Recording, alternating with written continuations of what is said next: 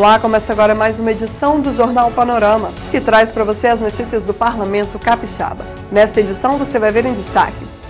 Secretário de Estado da Saúde presta contas das atividades da pasta realizadas em 2019. Aprovação de projetos de iniciativa parlamentar marca a semana em plenário. A Assembleia promove sessão solene em comemoração ao Dia Nacional do Dentista. Secretário de Estado da Saúde apresenta balanço das atividades da pasta em 2019, em audiência pública da Comissão de Saúde. Aumento da oferta de serviços e também das demandas judiciais foram os pontos destacados. A Comissão de Saúde recebeu o secretário estadual da pasta, Nésio Fernandes de Medeiros, para prestar contas dos trabalhos do governo na área da saúde em 2019. De acordo com o gestor, um dos desafios para o orçamento da pasta é o volume de serviços judicializados. Somente este ano, quase 200 milhões de reais foram destinados ao atendimento de demandas judiciais na área da saúde.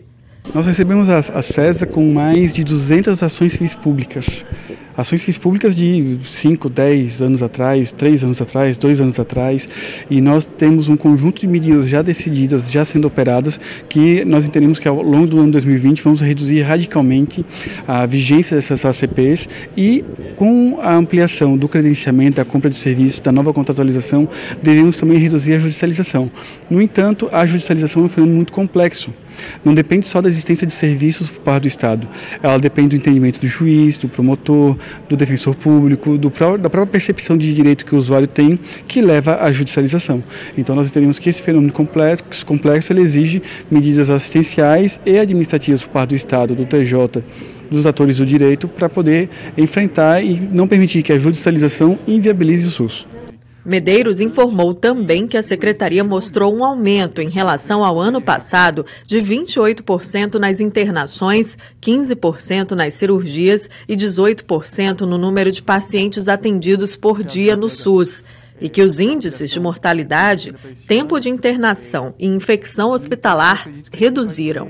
Nós incrementamos um processo de é, melhoria da assistência. A partir de já em junho deste ano começamos um curso da formação de supervisores de medicina hospitalista com técnicos da Sociedade Brasileira de Medicina Hospitalar que Vimos é, atividades educacionais com engenheiros de produção, com gestores hospitalares, com médicos, com um diverso um conjunto grande de especialistas que estão formando um corpo técnico que, a partir de dezembro deste ano, vão fazer parte de um processo de formação mais massivo de médicos e enfermeiros especializados em medicina e enfermagem hospitalar.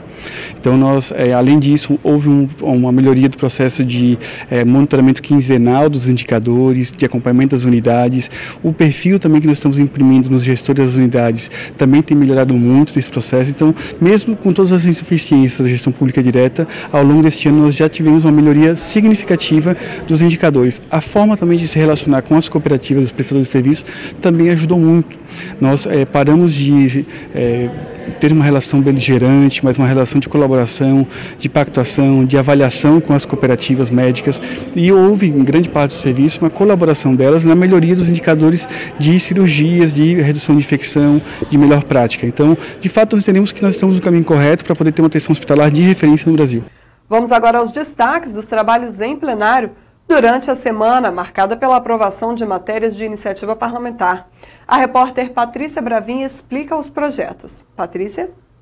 Quatro projetos de lei de autoria parlamentar foram aprovados durante as sessões plenárias desta semana.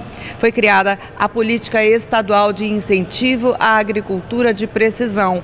O autor é o deputado Luciano Machado. O objetivo é garantir maior eficiência na aplicação de recursos e insumos e, assim, reduzir o desperdício, aumentar a produtividade e promover a sustentabilidade ambiental. A agricultura de precisão ela evita o desperdício. Muitas vezes é usado um insumo agrícola desnecessariamente, às vezes a terra já é rica naquele nutriente e ele é colocado novamente e, e caro, fica caro para o produtor fazer essa aplicação. E às vezes deixa de colocar algum, algum nutriente que a terra precisa.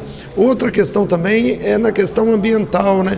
porque é, quando você usa a terra, usa as riquezas naturais, você precisa de também preocupar com a devolução. E, e nessa agricultura de precisão tem também é, é agregado nesse sentimento a sustentabilidade, a coleta da água pluvial, construção de caixas secas, o abastecimento do lençol freático para que as nascentes possam voltar a existir. Então a nossa ideia é essa, que o governo, através dos seus programas do INCAPER, que é um órgão espetacular, que está sendo reestruturado no governo Casagrande, é que nesse, nesse projeto possa ser juntado às várias mãos a iniciativa privada, o governo do Estado, o INCAPER, enfim, todos os órgãos de pesquisa, para que isso possa ser colocado a favor da agricultura capixaba e sejam criados módulos para que sirvam de referência dentro desses programas. E quando as coisas dão certo, um vai copiando o outro, daqui a pouquinho vamos ter um Estado que pode ser referência para o Brasil e para o mundo. Com a aprovação do projeto de lei de autoria do deputado Vandinho Leite, a concessionária de fornecimento de energia vai ter que avisar ao consumidor na conta mensal sobre a data de renovação do benefício da tarifa social. Principalmente as pessoas de mais baixa renda que não têm informação acabam sendo prejudicadas. De uma hora para outra ficam sem o benefício, começam a pagar mais caros mais caro e isso não faz sentido algum, até porque são famílias que recebem aí salários muito, muito baixos, que são os beneficiários desse programa. Então o projeto agora, ele obriga a EDP e a Luz e Força Santa Maria a estarem fazendo é, essa, é, levando essa informação com três meses de antecedência para que as pessoas possam fazer a renovação do benefício da tarifa social. Os deputados aprovaram ainda projeto de lei de autoria do deputado Enivaldo dos Anjos, que permite a realização de sorteios com brindes por entidades sem fins lucrativos. O objetivo principal é ajudar as entidades filantrópicas que no interior do estado têm necessidade de fazer eventos para poder arrecadar dinheiro para reformar a escola, para na verdade, né, formar posto de saúde, contribuir naquilo em que o Estado ou a Prefeitura às vezes não tem condições de fazer, a própria comunidade fazer, como fazer também jogos é, escolares, jogos na, na, na, região, além de outros benefícios da própria comunidade. Nós fizemos um projeto em que limita o valor do prêmio no máximo em 10 salários mínimos para evitar que né, particulares ou empresas tenham interesse por essa atividade. E aí as comunidades com esse tipo de evento poderão arrecadar fundos para poder movimentar várias atividades que eles têm demanda e que não têm condições de obter recurso público.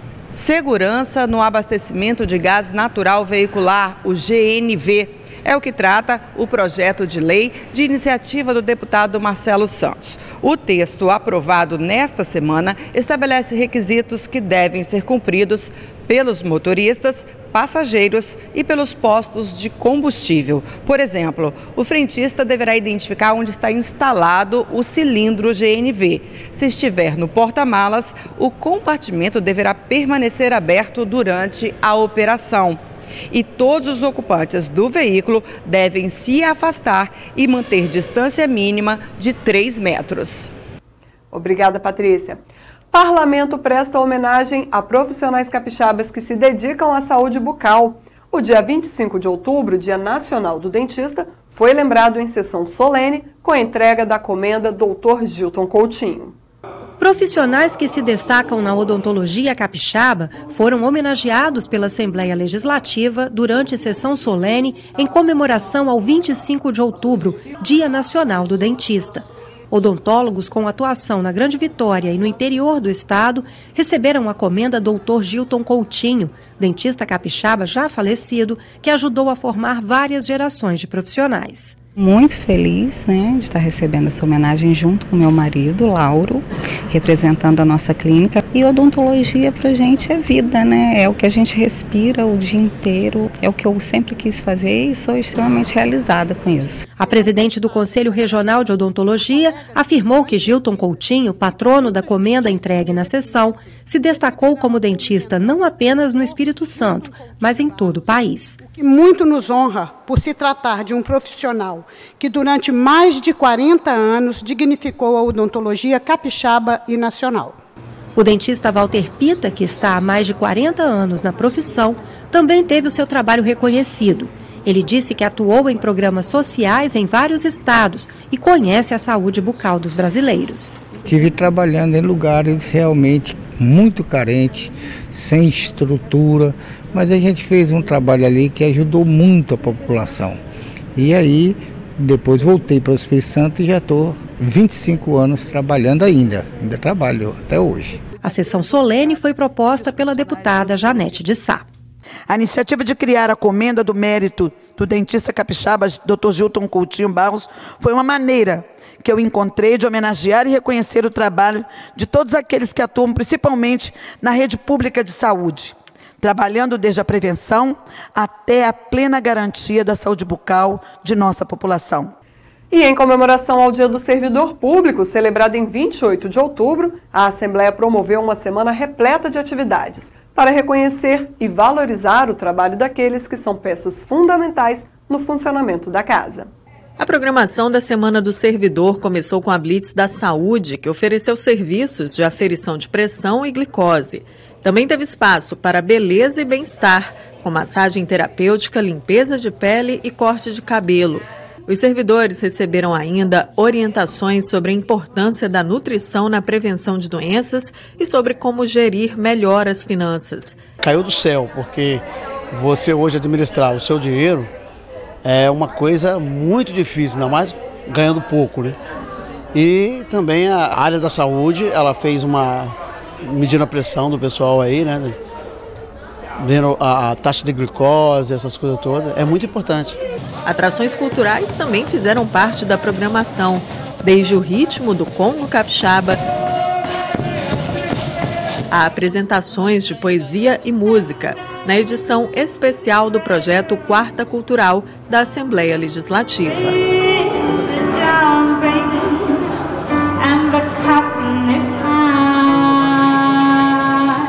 Objetivo é sempre agradecer, prestigiar os nossos servidores, que fazem com que o Poder Legislativo Estadual seja forte, atuante, presente na sociedade capixaba, exercendo seu papel.